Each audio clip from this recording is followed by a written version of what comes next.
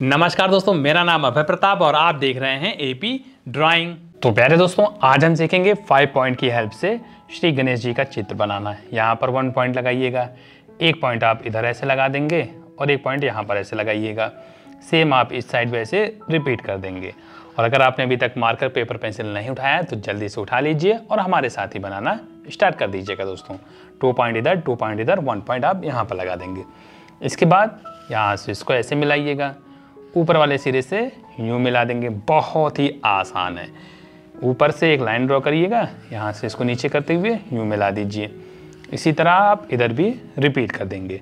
ऊपर के साइड से यहाँ पर ऐसे करिए, यहाँ से यूँ करिएगा। और इसी के ऊपर दोस्तों, एक लाइन आप ऐसे ड्रॉ करेंगे, एक लाइन इधर ऐसे ड्रॉ कर दीजिए।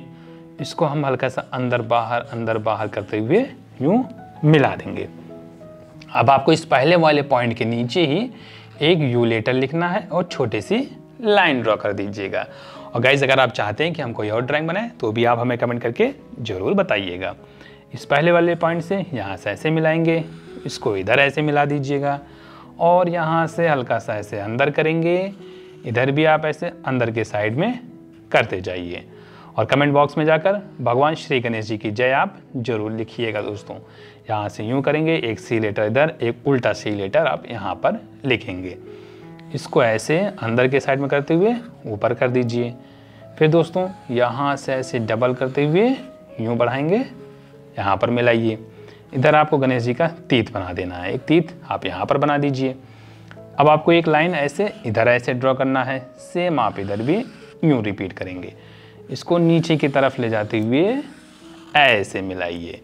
इधर से भी नीचे की तरफ़ ले जाते हुए यहाँ से यूँ मिला दीजिए। आपको गणेश जी का आई बनाना है।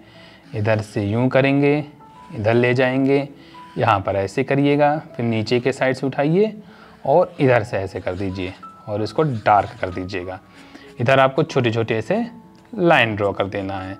यहाँ से भी आप ऐसे लाइनें ड्रॉ कर देंगे। देखिए हमारा कितने आसानी से मात्र दो मिनट में गणेश जी का चित्र बनकर तैयार हो गया है। इधर से आप ऐसे ऊपर की तरफ़ उठा दीजिएगा और इसको कर दीजिएगा डबल। ये हो गया डबल दोस्तों।